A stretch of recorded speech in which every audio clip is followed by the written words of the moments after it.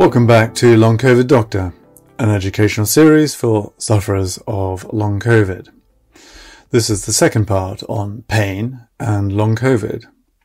In the first part, I talked about the symptoms, diagnosis, investigations, and I covered the many causes of long COVID pain. In this part, part two, I will talk about the treatments, management, and outcomes. References, links, and resources are in the show notes below. And as I said before, any advice, diagnoses, treatments that I mention should only be considered after discussion with your own GP or qualified health professional. So, what are the specific treatments available for pain in long COVID? There are treatments for individual pain, conditions themselves, such as headache, chest pain, joint pain, etc., etc. And there are treatments for the underlying long COVID processes that are causing those pains. So, firstly, I'll cover the treatments for the individual pain conditions themselves. Firstly, headache and migraine. If these are occurring frequently on more than a few days a week, as long as they, as long as we're happy with the diagnosis, preventative treatment is needed. And I cover this in detail in my talk on headache, but in brief, initial treatment is with standard migraine prevention treatment. Usually with amitriptyline started at 10 milligrams at night if this is ineffective or not tolerated, other drugs drugs can be considered, such as topiramate, um, candesartan. Patients may also gain benefit from supplementation purchased from the chemist. So there's riboflavin, which is vitamin B2. This is actually mentioned in the NICE guidelines for treatment of headache. And then there's magnesium, um, purchased as magnesium citrate. Note that there are a number of different magnesium salts, so look out for magnesium citrate. But also the coenzyme Q10 and feverfew herbal remedies have been noted to be, that's actually coenzyme Q10 is a supplement for feverfew as a herbal remedy. Um, these have been shown in studies to have benefit in recurrent migraine. But please obviously always be cautious with herbal supplements, especially if you're taking medication such as blood thinning medicines, such as aspirin, clopidogrel, or warfarin. Also, always check with your GP first. So that's headache and migraine pain. So, what about chest pains? So, as I said earlier, this is more complicated as it depends on the nature and the underlying cause of the chest pain. We must be totally confident uh, with the diagnosis before proceeding. This means a thorough history and examination to exclude serious cardiovascular and respiratory causes for the chest pain, i.e. to rule out heart disease, angina pain, pulmonary embolism, pericarditis, and to be backed up with relevant investigations and maybe even a specialist opinion. So as long as those worrying diagnoses have been ruled out, the remaining causes of chest pain that can be put down to long COVID is pleuritis. Classic, generalized, bilateral, both sides, COVID chest grip as described by our patients. Pleuritis is inflammation of the lung lining on both sides, so bilaterally, which is part of the excessive inflammatory response in long COVID. The drug that can ease this is colchicine. This was first used by cardiologists for pericarditis pain, i.e pain due to inflammation of the cardiac heart sac lining. They then experimented with using it for excessive inflammation of the lung sacs, the pleura, and they found it to be beneficial. Colchicine is a drug that we're all familiar with, uh, us GPs, um, all familiar with using in acute gout, um, as is licensed for. And we've been using it. It's been around for years and years. And so we know through experience that it is safe and effective in treating inflammation. The only troublesome side effect that is well documented with colchicine is a change of bowel habit, and that means diarrhea, loose, loose bowel actions, diarrhea. And this is often a reason to discontinue it. But it's worth a try. And in our clinics, we, we certainly have had many patients thank us for suggesting it to take away their COVID chest grip. As I said before, I cover all this in much greater detail on my chest pain talk. So that's head pain, migraine, chest pain done. Joint pains. This may be part of an exacerbation of underlying osteoarthritis. So degenerative wear and tear, joint pain, and hence treatment with anti-inflammatory drugs such as ibuprofen would be indicated. That would be the obvious first line drug to take. As long as, you know, outpatient, as long as you don't have that any tendency for indigestion and that you're not on any other medications that might interact with it. The other more serious cause for joint pain is an active inflammation process, such as rheumatoid arthritis, one of the autoimmune diseases in which your own immune system is attacking your own cartilage, joint lining. Telltale signs for this, signs that would make us suspicious of this type of acute active inflammatory disease process would be joint swelling and red, redness, uh, as, long, as well as um, along with early morning joint stiffness. Um, the GP would want to be sending bloods for inflammatory markers such as the CRP and ferritin. Those will be in, elevated in inflammatory joint disease and the rheumatoid factor and the ANA factor would also probably be positive, which would then confirm the diagnosis. If this is the case, referral for a rheumatological opinion is needed. So our rheumatologist colleagues need to be involved so that active treatment can be started if it does prove to be active joint disease to prevent irre- irreversible joint damage. So that's joint pains done, leading on from that into muscle pains. Muscle pains may be due to a virus, the virus, as in SARS-CoV-2 virus, destroying muscle cells in the acute infection, the myocytes. This leads to pain, sort of inflammatory pain, as well as reduced muscle function due to reduced mitochondria, the little energy, energy factories in ourselves not working properly or less of them. And so less aerobic and if there's, if, if there are less mitochondria, and there's less aerobic energy production of ATP. And therefore there's going to be more anaerobic energy production. And a byproduct of that process, anaerobic respiration, is the buildup of lactic acid and that's uncomfortable and often painful. There are also there is also another condition that is characterized by painful muscles, namely fibromyalgia.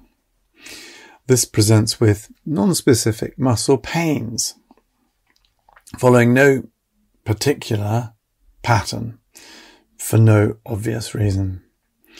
it's a diagnosis by exclusion, also made by the rheumatologists, having done all the necessary tests to exclude other causes. Treatment of this condition is difficult and but also necessary to improve sort of general function as well as the control of the symptoms. And then on to nerve pain. Having done joint pain, muscle pain, let's go on to nerve pain. This may be individual pains in ra- at random, unconnected, unconnected parts of the body, typically in the arms and the legs. There may be pins and needles, skin sensations like ants crawling on the skin, or numbness. Your GP may want to send you for nerve conduction studies, but also ask for blood tests for vitamin B12 and folate, as well as HbA1c to check for diabetes. Nerve pain may be due to localized inflammation in the tissues themselves or small fiber neuropathy, a condition called small fiber neuropathy, i.e., reduced function of the small sensory nerves, as well as the autonomic nerves that control blood flow under the skin. Nerve, nerve pain also can be also due to problems in the brain stem due to effects in the pain center there, leading to excessive or inappropriate firing of the nerve fibers in the pain center, or as explained earlier, due to pain, central pain sensitization, allodynia, the perception of pain from non-painful stimuli. And finally, nerve pain confined to one side of the face may be due to a condition called trigeminal neuralgia. Your GP will know all about this and will be able to treat you for this. But in general, nerve pain, neuropathic pain, is very complicated. However, the drugs that are indicated for nerve pain, neuropathic pain, are amitriptyline initially, and I talked about this already, already for migraine prevention and also for chronic recurrent headaches. But just one word though, um, amitriptyline has been used for at least 50 years. It was the first antidepressant. But none of us use it for that reason anymore. And the reason I'm saying it is that I have had patients say that they feel offended that when I've put them on amitriptyline, an antidepressant, the patient comes back to me and says, he thinks I'm depressed. No, it's not true. It's only used for neuropathic pain and migraine prevention these days. We have far better antidepressants with no side effects and no dependency um, compared with compared with amitriptyline. No, it's not depression. If amitriptyline is not tolerated, there are other alternatives. There's pregabalin, there's gabapentin, there's duloxetine. Again, your GP will be familiar with these, and so it's down to the GP. If, despite all this, the pain is not responding, it's still really troublesome, I think it's entirely reasonable for a referral to a neurologist to be requested. Um, because, you know, at that point, I would be thinking, well, maybe there are further investigations that need to be done, such as scans, thinking nerve root compression, to search for other diagnoses. So, finally, on to abdominal pain. Probably the commonest cause for this is the effect of COVID on the enteric nervous system. What is the enteric nervous system? Basically, it's the, it's the nervous system that is, that is attached to, is serving the gut for release of digestive enzymes and muscular contractions. The waves of peristalsis, the peristaltic waves that push the food along the intestines. If this is disrupted due to a faulty autonomic nervous system, this leads to bowel muscle spasm and colic and bloating and distension, and these can all be very painful. Specific treatment for this is with antispasmodic medicines from your GP, such as mebeverine or peppermint oil. Obviously, if there are other associated symptoms, such as a change in bowel habit, you must see your GP for advice to rule out other more sinister causes. Remember what I said in part one. We must not be COVID blind. Just because you've had COVID, it doesn't mean that your symptom is due to COVID. It may be something else, something more serious and totally unrelated to your COVID. So, before I conclude this section, I just wanted to mention one other thing, one other drug that you may have read about in the long COVID forums or heard about amongst other colleagues or, or friends, acquaintances in the long COVID community. And that is the drug known as long low dose naltrexone. The drug is no, no naltrexone, but given in a low dose. Currently, low dose naltrexone is not listed in the NICE guidelines for long COVID and hence not recommended.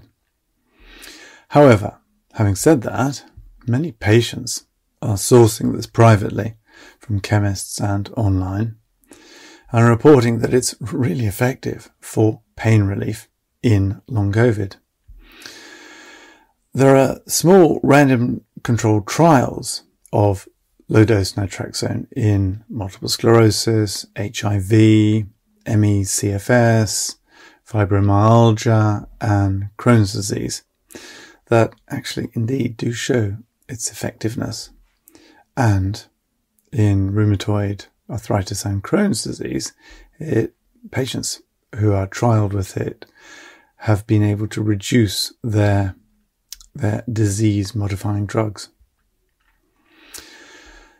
Low dose naltrexone um, in the higher dose, or sorry, put it another way, naltrexone in the usual higher dose um, for its licensed use, and that is to help patients with opiate addiction, is very well tolerated.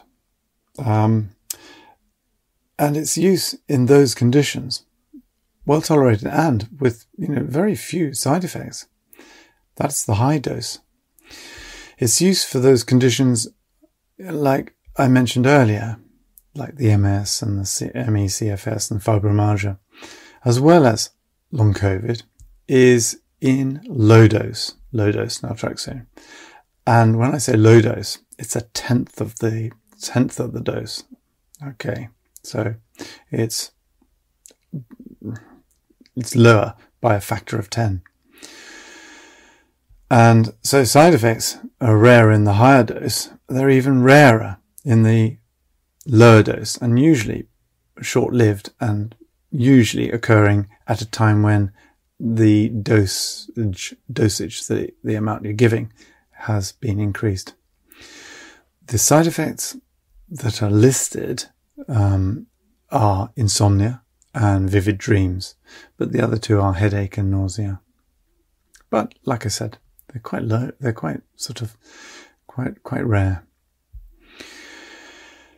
So my advice, what's my advice? My advice would be to discuss this with your GP your own GP, who obviously knows you, your knows your whole story, knows other medications, sees will be able to see the whole picture, um, longitudinally. If you're contemplating buying it for yourself, to check, you you must always, you know, make sure that um, that you do check with someone such as your GP that you're not missing something, another cause for your symptoms. And, you know, obviously always be really wary of buying medicines, medications, supplements online because of all their associated possible dangers. So meanwhile, patients are getting information with about long COVID from LDN Research Trust. Maybe worth Googling that if you want some more information on it.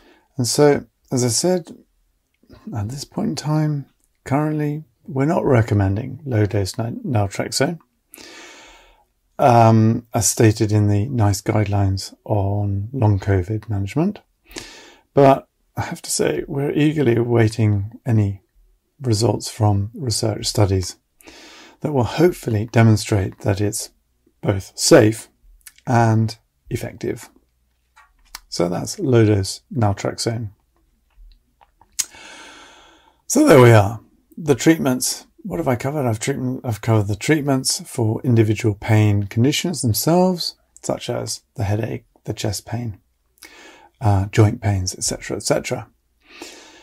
Now I want to talk more on the treatments for underlying long COVID processes that are causing those pains and those painful conditions, namely the damaged tissues, the overactive inflammatory system, the faulty immune system, the damaged autonomics, and disrupted friendly gut bacteria. So, firstly, the excessive inflammatory response. I mentioned that right at the start, didn't I? And remember what I said? It's not only the cytokine storm, but the micro microthrombi, the mini clots, but it's also part of the excessive inflammatory response is mast cell activation. It is worth treating this to see if it makes a difference with the pain level. I cover this in great detail in my MCAS talk, but basically this is with the use of H1 blocker, the antihistamine drugs such as cetirizine, along with the, the H2 blocker, the antacid drug, stomach acid drug, famotidine in combination. It should also be noted that prescription of these medicines for long COVID, particularly at a dose greater than once a day, is off label, meaning that it's not covered by the UK product license.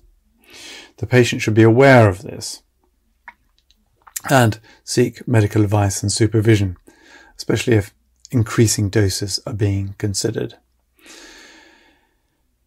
If you are taking those H1, H2 blockers um, and the symptoms improve with those medicines, they could be continued for up to three months, say, and then discontinued at that point see what happens.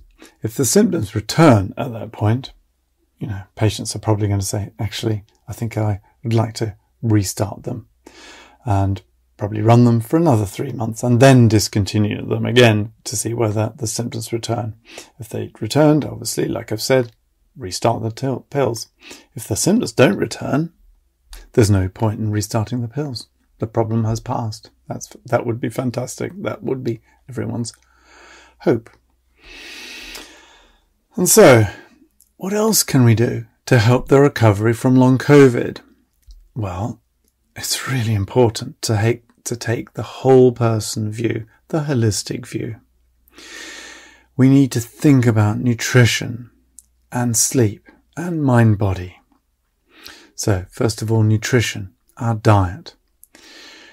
Preferably, we should be having a mixed, balanced diet a Mediterranean diet, the famous Mediterranean diet, that contains all the necessary minerals and vitamins, the building blocks for cellular tissue repair. It also contains anti-inflammatory, antioxidant um, uh, chemicals, the polyphenols, those chemicals that make your fruit the oranges and the yellows and the blues and the blacks and the greens, um, the polyphenols, the antioxidants that mop up those naughty anti, those naughty free radicals And then the Mediterranean diet also contains prebiotic fiber to nourish the microbiota, the friendly gut bacteria. I covered this more fully in my talk on long COVID gut. A healthy gut flora is so important for immune support, production of vitamins, hormones, neurotransmitter chemicals. And then there's also omega 3 fish oils to consider. Uh, it'd be great if you get this in your a mixed balanced diet by eating fish, fatty, fatty fish, such as salmon or mackerel, sardines, a couple of times a week. Omega, they contain lots of omega 3 essential fatty acids. Also really important for so many functions, but in particular, support of the immune system. And then vitamin D for good measure. We live high up in the northern hemisphere here in the UK. Um, we're relatively UVB uh, starved, especially in the winter months. So think about vitamin D. Why not? So that's nutrition, the diet dealt with. Really important to consider. But also sleep. Sleep's really important to consider as well. So what do we say? Sleep is the great healer. That's what we say, isn't it? Sleep is necessary for you know, ref- for the big refresh as well as the big repair. We must support the day-night cycle, the circadian rhythm, for release of various restorative hormones, such as growth hormone. We've got to think about sleep hygiene, strict bedtime, strict get up time, get an alarm clock, um, sleep inducing novel if you can't get to sleep, not mobiles and screens, tablets, right up to bedtime, right up to nights out. No, for the hour before you turn the light on, read that sleep inducing Jane Austen novel, not use your screen because mobiles and screens emit blue light, which is arousing, uh, not unlike sort of red or pink light, which is more relaxing. To help with sleep, number of patients, some patients use Piriton, the sedating old fashioned ancient antihistamine. Um, there are studies to show that magnesium encourages normal sleep, enhancing has enhancing properties, as does melatonin. Again, lots of patients are taking melatonin, the the um, three milligram rapid onset or the two milligram slow onset Circadin. Um, I talk about this more in my um, in my uh, presentation on sleep disturbance in long COVID. So that's diet done, sleep done. But it's also important to tackle worries, turbo brain. I've put it, I, I, I describe it as turbo brain, too many, too much thinking, and anxieties, worries. These all lead to fight and flight, adrenaline, sympathetic nervous system overdrive. We need to address these. So the way we can address them is by considering mind body techniques, such as mindfulness, meditative, meditative mindfulness. That's a tongue twister. Meditative mindfulness. So you can learn this by using the apps Headspace or Calm download it to the to your phone. Really useful, not too expensive, and really good for guided mindfulness. And there are many studies that back up the validity and the effectiveness and the benefits of mindfulness for stress relief, for anxiety reduction. And also thinking mind body techniques, think about um, yoga and Tai Chi um, again, mind and body, proven in studies to help with stress and anxiety and dropping blood pressure. And these, these practices incorporate focus and breath control and coordination and general body reconditioning. Definitely worth considering. Oh, and then finally, as part of the whole long COVID management, we must apply the fatigue management strategies. That is pacing, planning, prioritizing, the three P's. Pacing, the process of balancing activity, that is physical, mental, as well as emotional activity. Balancing those activities with rest. Pacing gives you awareness of limitations. Knowing your limitations so you can plan how you use your energy most efficiently and effectively is so important. Pacing means no more push on through. It's stop. That's enough. Time out. I need a rest. And then I'll restart what I'm doing. I cover this in much greater detail in my talk on long COVID and fatigue. So, besides all this advice, there are a few trusted resources for long COVID recovery. There's your COVID recovery, which is a, which is the sort of the NHS England website, self-treatment patient resource for symptoms and information and self-management. And then there's the Royal College of Occupational Therapists, who have got an excellent bank of resources. But the one I think's really good is is basically how to manage post-viral fatigue. I've put the, the links to both of those in the show notes below. So there we are. Um, that concludes the second part of my talk on pain and long COVID, following on from the first part earlier. I hope you found them helpful. Uh, as I mentioned at the start, any advice, diagnoses, treatments that I mention in either of these talks or any of my many talks should only be considered after discussion with your own GP or qualified health professional. So,